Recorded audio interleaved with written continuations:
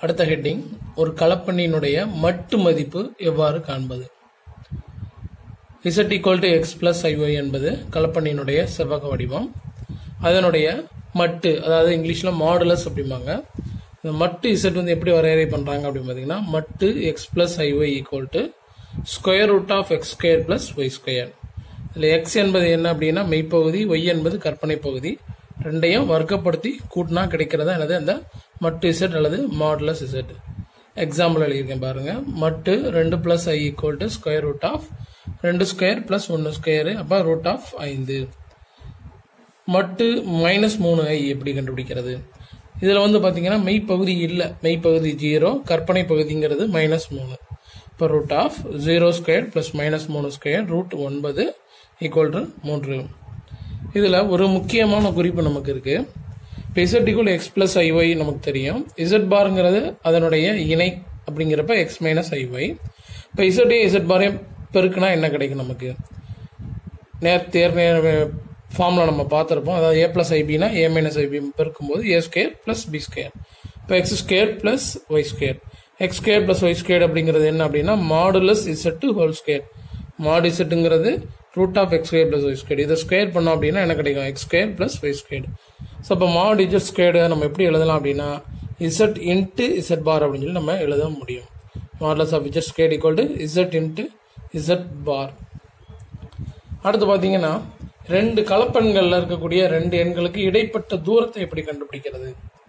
Z one Z two அப்படிங்கிற ரெண்டு கலப்பெண்கள் எடுத்துக்கிட்டு அது ரெண்டு பெண்களுடைய இடைப்பட்ட தூரம் கண்டுபிடிப்பதற்கான ஒரு சூத்திரம். மட்டு Z one minus Z two Z ஒன்னுக்கு இசட் டூக்கு இல்லை இடைப்பட்ட தூரம் மட்டு இசட் ஒன் மைனஸ் மட்டு Z two square root of X two minus X one whole square plus Y two minus Y one whole square நம்ம ஏற்கனவே தெரியும் கலப்பெண்களை ஒரு வரிசை சோடிகளாக அதாவது புள்ளிகளாக நம்ம எழுத முடியும். இப்போ இரு புள்ளிகளுக்கு இடைப்பட்ட தூரத்தினுடைய அதே சூத்திரம் தான் நம்ம இரு கலப்பெண்களுக்கு இடைப்பட்ட சூத்திரமும் நம்ம பயன்படுத்துகிறோம் ஸோ அடுத்ததாக பார்த்தீங்கன்னா இந்த மட்டுக்குரிய பண்புகள் என்ன அப்படிங்கிறத நம்ம புத்தகம் வழியாக நம்ம பார்க்கலாம். ஒரு எட்டு வகையான பண்புகள் இருக்கிறது.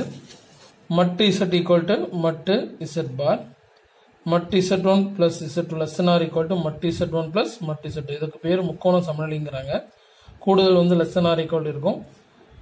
பெருக்கல் பார்த்தீங்கன்னா நம்ம என்ன பண்ணிக்கலாம்? மட்டை தனித்தனியாக பிரித்து எழுத முடியும். அதே மாதிரி வகுத்தலையும் நம்ம என்ன பண்ணிக்கலாம்? மட்டு தனித்தனியாக பிரித்து எழுதிக்கிட முடியும். கூட்டலுக்கு வந்து லெஸ் ஆர் ஈக்குவல் அதே மாதிரி கழித்தலுக்கு எப்படின்னா greater than or equal to modulus of modulus Z one minus modulus Z two இதனுடைய மதிப்பு இதை விட பெரியதாக இருக்கும்.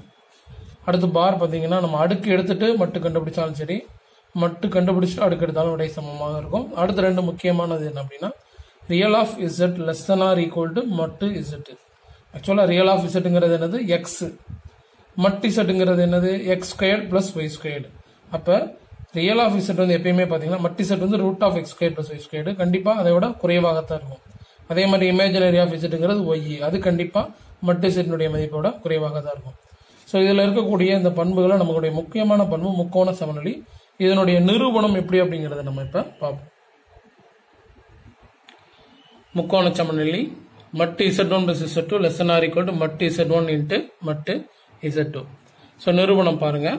முதலாவதாக மட்டு Z one plus Z two whole squared நான் எப்படி எழுதுறேன்னு பாருங்கள் இப்போ நம்ம குறிப்பு பார்த்தோம். மட்டு Z squared equal to Z into Z bar அப்போ மட்டு என்ன டேம் இருக்கோ அதனுடைய ஸ்கொயர்டு அப்போ உள்ளே இருக்கக்கூடிய அதை இசட் இன்ட்டு இசட் பார் வடிவத்துக்கு நான் மாற்றி எழுதிக்கிட்டேன். Z one plus Z two into Z one plus Z two whole bar bar தனித்தனியாக பிரிச்சுக்கிட்டோம். இருக்கக்கூடிய ஒவ்வொரு மதிப்பை வச்சு உள்ளே நம்ம பெருக்கிறோம். ஸோ அப்போ மொத்தம் நமக்கு நாலு டைம் கிடைச்சிருக்கு பார்த்துக்கோம் ஒவ்வொன்றை வச்சு ஒவ்வொரு டைமே நம்ம பிரிக்கிருக்கோம். ஸோ முதல் இருக்கிறது பார்த்தீங்கன்னா Z one into Z two bar கடைசி இருக்கிறது Z two into Z two bar அப்போ எப்படி எழுதிக்கலாம்? அந்த பண்பின்படி மட்டு இஜெட் ஒன் ஸ்கொயர்டு மட்டு இஜெட் ஸ்கொயர்டு நடுவில் பார்த்தீங்கன்னா Z one Z two bar இருக்குது. Z two Z one bar இருக்குது. இதை நான் எப்படி எழுதிக்கிறேன் அப்படின்னா இந்த இசட் ஒன் இசட் டூ பாருக்கு ஹோல் பாராக நான் எழுதிக்கிறேன். ஸோ இப்படி எழுதலாமா அப்படின்னு பார்த்தீங்கன்னா எழுதலாம். ஏன்னா இப்போ நீங்கள் செக் பண்ணி பார்த்தீங்கன்னா இதுக்கு பார் எடுத்தீங்கன்னா இசட் ஒன் பார் வரும். இசட் டூ டபுள் பார் வந்தால் இசட் டூ கிடைக்கும். ஸோ அப்போ இதை இங்கே இருக்கக்கூடிய டேமோட ஹோல் பாராக எழுதுறேன்.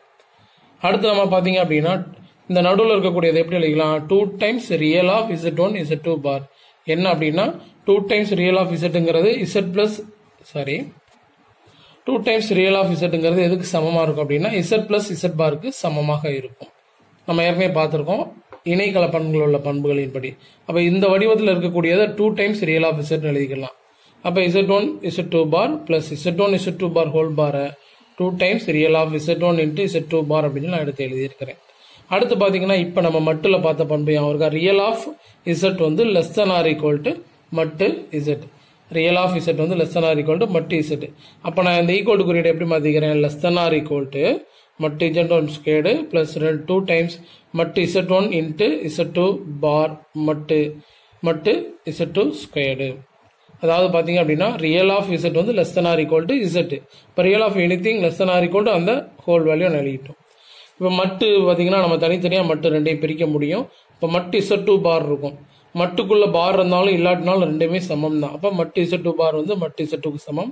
இப்போ இது வந்து பார்த்தீங்கன்னா நம்ம A square plus two A B plus B square formula வடிவத்துக்கு வந்துருச்சு. அப்போ A plus B whole squared so அப்போ மட்டு Z one plus Z two whole squared less than or equal to மட்டு Z one plus Z two whole square ரெண்டு பக்கமும் நம்ம வர்க்கப்படுத்தணும் அப்படின்னா மட்டு Z one plus Z two less or equal to மட்டு இசட் ஒன் பிளஸ் மட்டு Z two